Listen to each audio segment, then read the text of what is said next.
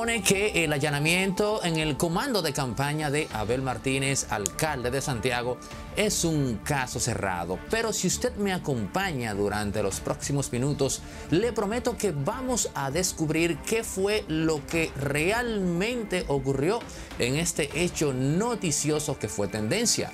Una trama en la cual están involucrados Luis Abinader, Leonel Fernández, Hipólito Mejía y Danilo Medina del otro. Pero les garantizo que cuando al final de este capítulo usted junto a mí descubra qué fue lo que realmente ocurrió, esas personas que ya mencioné no están involucradas de la manera que usted podría presuponer. Así que sin más preámbulos, acompáñenme. En el capítulo de hoy vamos a descubrir lo que realmente oculta Abel Martínez de su allanamiento.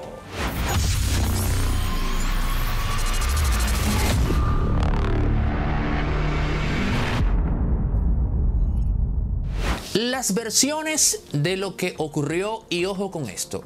Según el alcalde Abel Martínez, se trató de una confusión, confusión a la cual él reaccionó de esta forma. Como por una confusión, por un error, crean un caos sobre mi persona. La dirección de drogas, buscando a estos dos individuos que yo espero que lo busquen y que lo consigan y que lo arresten y que aclaren quiénes son estas personas. Pero por error entran a esa casa de campaña y hablan de una vigilancia de hace días por unas pacas que entraron ahí. Claro que sí, pacas de pajas para un gallinero que nosotros tenemos ahí. No vivimos ahí. Pero todo el santiaguero y más allá de los santiagueros saben que tenemos más de 15 años despachando los temas políticos desde esa casa.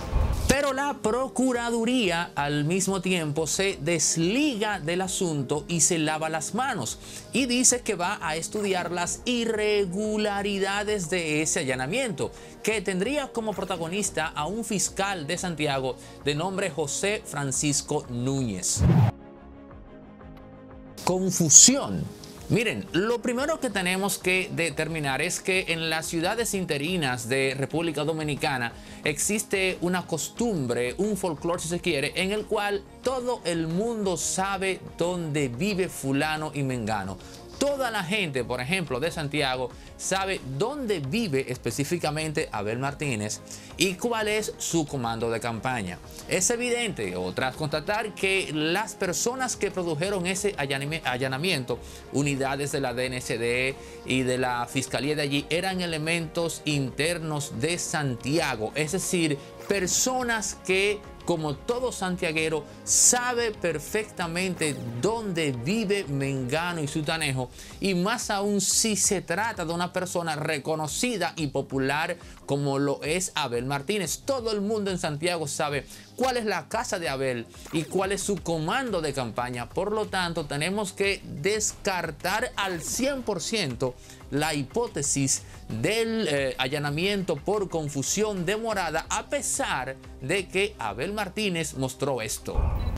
Conocido, funcionario público, le llevaron el arma. Un arma asignada a un militar, a un teniente coronel, que vive ahí. No sé qué dirán. Nosotros como alcalde, como ciudadano, como político, pero sobre todo como ciudadano,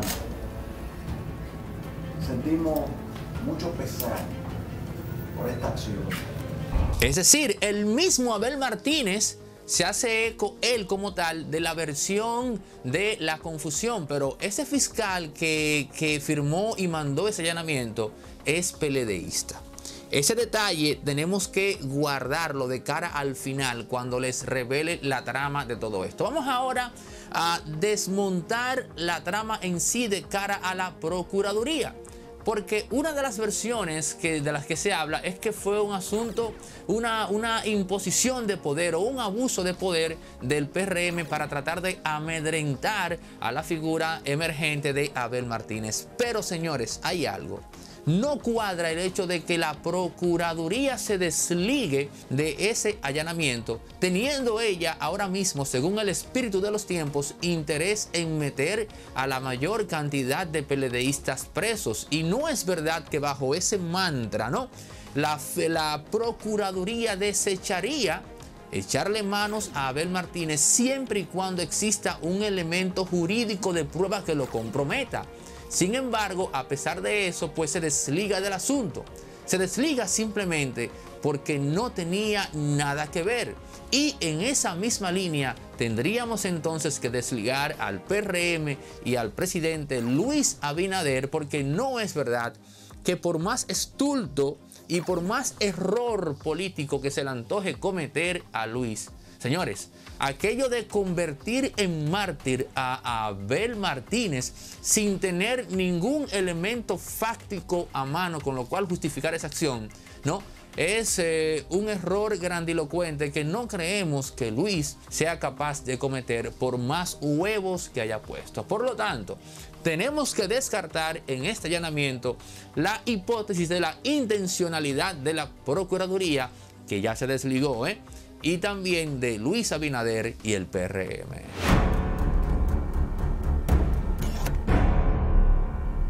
Y ya con ese dato que acabamos de revelar a través de un análisis, la cosa como que va cogiendo un poco de cuerpo y se pone más clara. Pero antes de entrar en la otra vertiente que tiene que ver con un análisis muy interesante que hizo el colega Domingo Páez, quiero exhortarte a que te suscribas a la plataforma si aún no lo has hecho y actives la campanita y te unas a nuestra próxima meta de llegar a los 150 mil suscriptores. También tengo que mandar un saludo a la gente de tvhispanic.com. Los contenidos de Impolíticamente Correcto están en tvhispanic.com y no se me puede quedar la diáspora Eddie Olivo a través de www.controlandoelegido.com con J, porque se refiere al barrio de Santiago.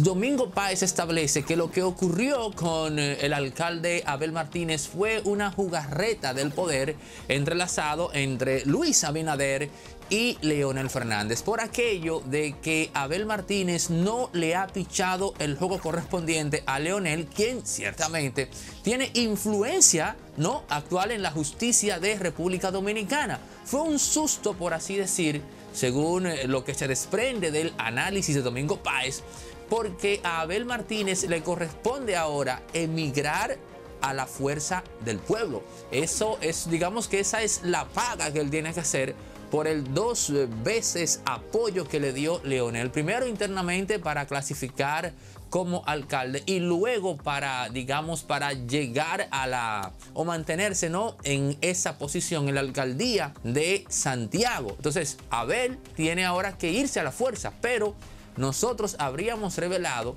que el equipo de Abel Martínez le habría propuesto a la fuerza del pueblo que el candidato en las próximas elecciones de esa organización debía ser Abel Martínez. Y ahí momentáneamente el juego se trancó. Ahora bien, esa es la hipótesis de Domingo Páez y vamos a dejar que sea él mismo que nos hable un poco de esas emociones en términos colectivos que según él hicieron que Abel Martínez sea el blanco de ese allanamiento.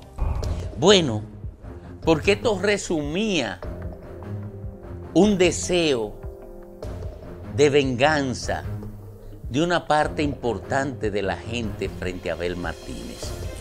¿Y por qué se daba esto? Bueno, porque Abel Martínez logró derrotar al grupo de Danilo Medina en Santiago por el apoyo que recibió de Feli Bautista y Leonel Fernández. Y eso lo sabe todo el mosaico político nacional. Saben que el origen de Abel Martínez es esa. Ahora bien, en esa versión de las cosas, como lo plantea en su hipótesis analítica el colega Domingo Páez, hay un elemento que no cuadra y es precisamente Leonel Fernández. Leonel es un político que maneja perfectamente el tema de las narrativas en la opinión pública.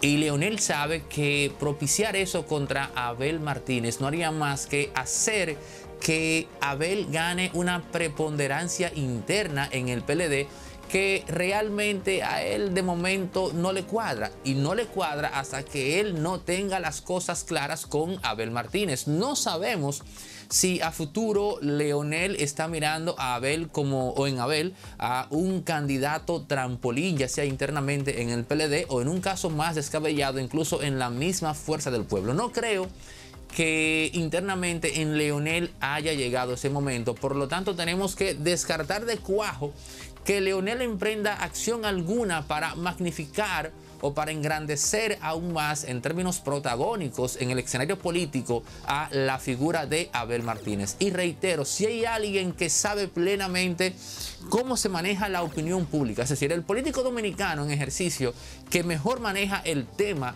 de la opinión pública es precisamente Leonel Fernández. Y luego de descartar todas las versiones que están en el ambiente, tenemos que llegar entonces a la conclusión. ¿Quién en verdad patrocinó? ¿Quién fue el autor intelectual de, de ese allanamiento a Abel Martínez? No sé si se han percatado que durante todo el relato que hemos hecho en este capítulo, hemos mencionado varias veces el hecho de que el allanamiento a Abel Martínez es un elemento que en términos mediáticos, internamente en el PLD, le da poder a Abel.